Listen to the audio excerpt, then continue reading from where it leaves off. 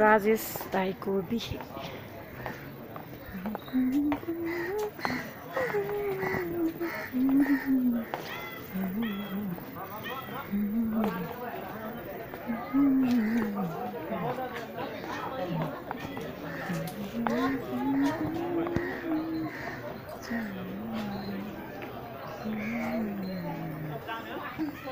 Thank you.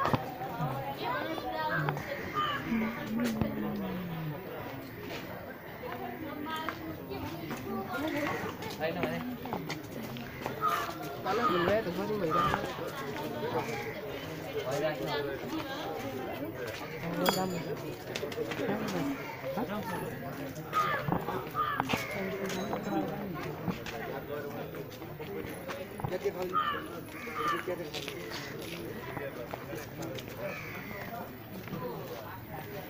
अहिले चाहिँ म जाँदैछु चिसो खानको लागि।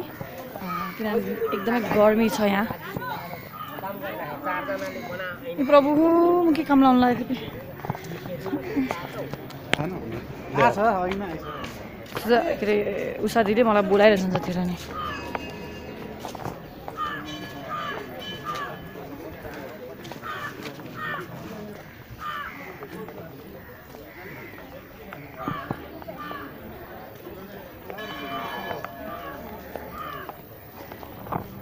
गर्मी गर्मी भएको अवस्था। अहिले म जाँदैछु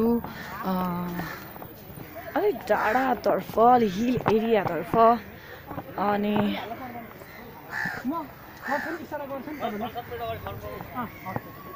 यसलाई चाहिँ म सायद